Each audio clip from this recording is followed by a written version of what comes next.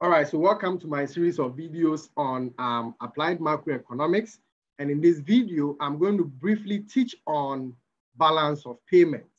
Now, balance of payment is essentially a very important concept when it comes to international trade as well as international finance, because the balance of payment has an aspect of international trade and it has an aspect of international finance. So balance of payment has an aspect of international trade and it has an aspect of international finance. It has an aspect of international finance. Now, what is balance of payment? Now, balance of payment account is a systematic summarized statement of a country's international trade in goods and services. So that is the aspect of international trade, right? Balance of payment is a systematic summarized statement of a country's international trade in goods and services and capital transactions with all, so the capital transactions mostly will deal with international finance, okay? So with all other countries combined over a specified period. So basically, if one country embarks on a transaction with another country, there are only two things that we can summarize the transactions into. The transaction can be done, or we can summarize the transactions into a current account. That is one account that we can summarize the transaction into. And then we can also summarize the transactions into capital and financial accounts. We can also summarize it into capital and financial accounts. Okay, so here, what are the components of current account? Now, the current account includes value of all transactions related to purchases and sale of goods and services, all right? It relates to purchases and sale of goods and services, okay? Now, for me, it goes beyond that because, you see, if we employ factor services, okay? Factor services, all right? For instance, if you, if you employ somebody as labor, okay? We may also want to look at how much we pay for that labor, and that will be the services aspect. So here, a simple way to understand it is that apart from goods and services themselves, it also include incomes also paid to factors of production, all right? Because if you pay money to labor, it's like paying money for services, okay? If you receive interest on capital employed, okay, it is a form of interest on services because the people managing your capital, they are providing some form of service, all right? Okay, so let's do the breakdown of this current account. Let's do the breakdown of this current account. Now here, the current account can or it involves the, the account or it involves recording issues related to trading of physical goods, all right, or visible trade or merchandise trade. Okay, so here, the visible trade account is therefore the difference between value of physical goods exported and then value of physical goods imported. Okay, here we are not talking about services yet. It's just physical goods. All right. Now let me show you something. When it comes to balance of payment, anything that depicts money coming into our country is a plus. Anything that depicts that money is coming into our country is a plus. And anything that depicts that money is leaving our country is a minus. So for all the items in balance of payment account, whether current account, financial account, capital account, anything that depicts that money is leaving the shores of your country, it is a minus. And anything that depicts that money is coming into your country, it is a plus, all right? So here, when we do export, export means money will come into Ghana, so it is a plus to the current account. And when we do import of goods, it's a minus, all right? That is why our balance of trade that takes into consideration physical goods and services. Anytime we do export of goods, it's a plus to the balance of trade. And anytime we import physical goods, it is a minus to the balance of trade because money will be going up. Now, apart from balance of trade, we may also have balance of services, okay, or balance of invisible trade. Okay, the balance of visible trade is about export and import of physical goods. You can also have balance of invisible trade, or what we call balance of service.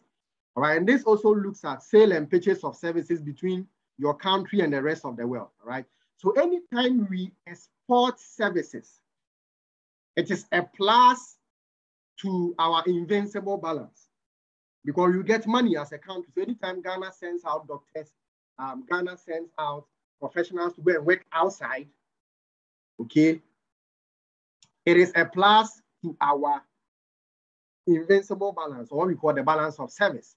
At any time we import doctors here or we import services here, because we will pay them money, and of course the money will go to their country, that will mean that it will be a minus to our invisible balance, right? It will be a minus to our invisible balance. Okay, so we've talked about um, balance of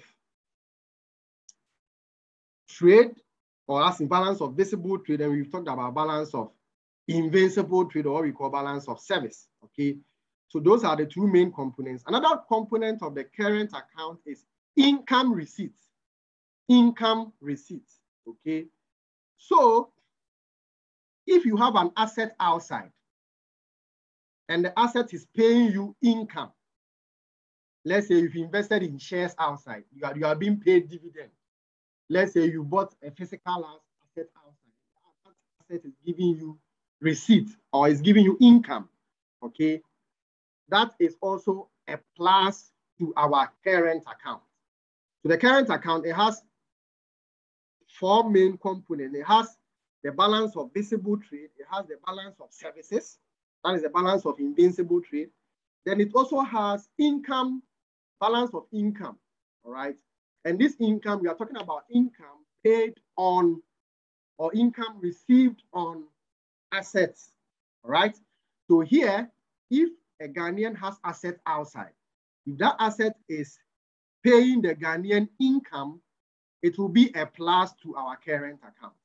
And if foreigners own asset here in Ghana, and that asset is paying the foreigners income, it will be a minus. It will be a minus to our current account, okay? Then the final thing in the current account is unilateral current transfers, all right?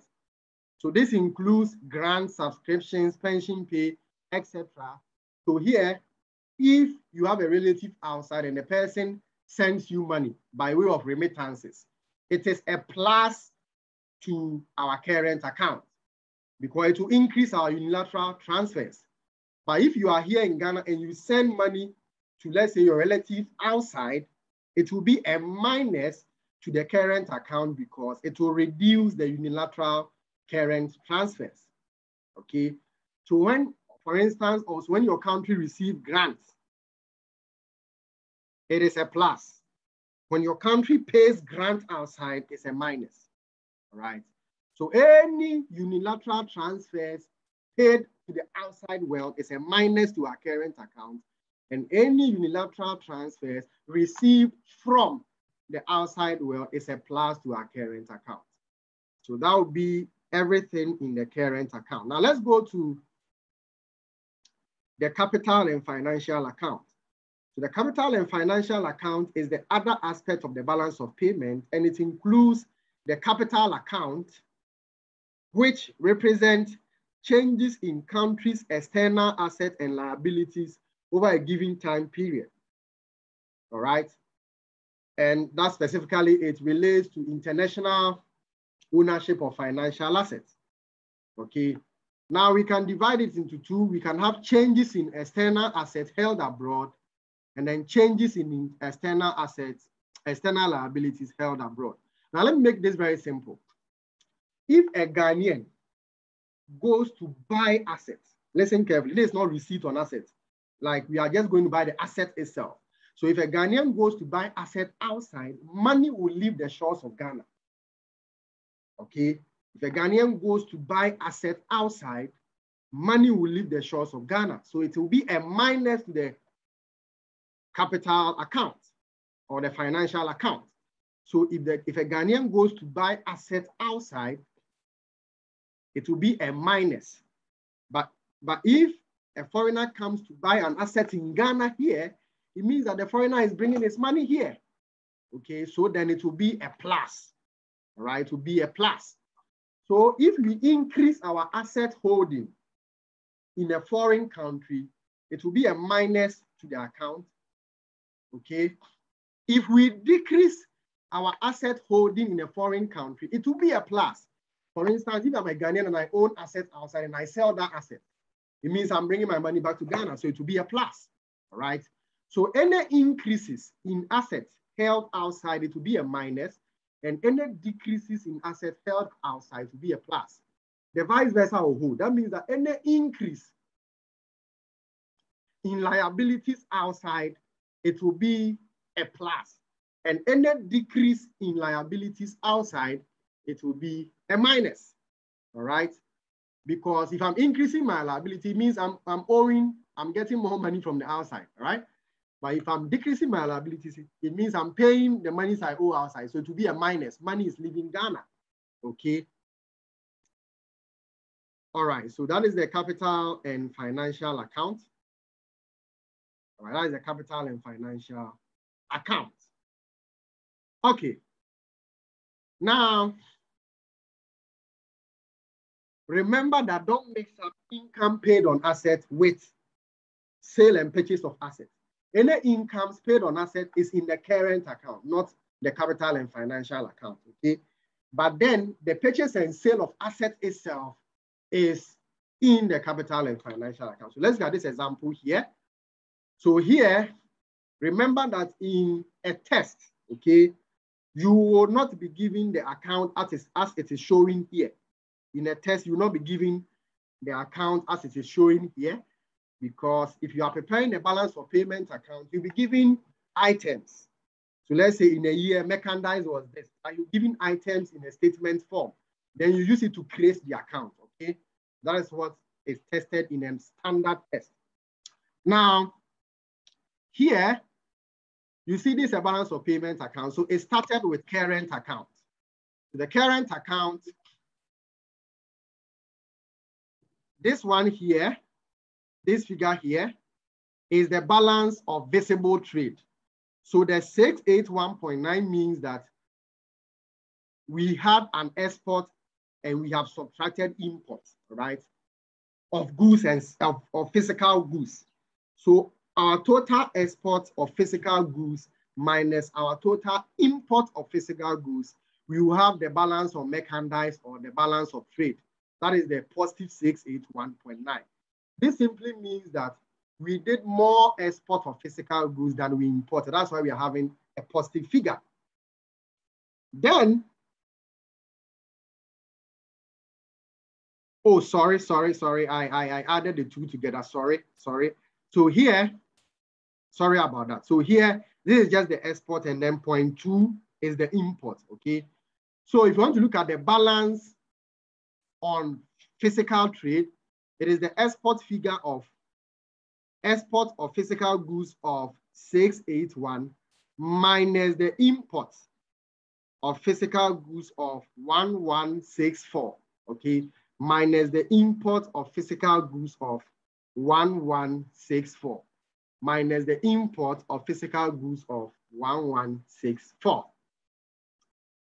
Then again, if you want to look at the balance of services, the S is the export of service minus the import of service here.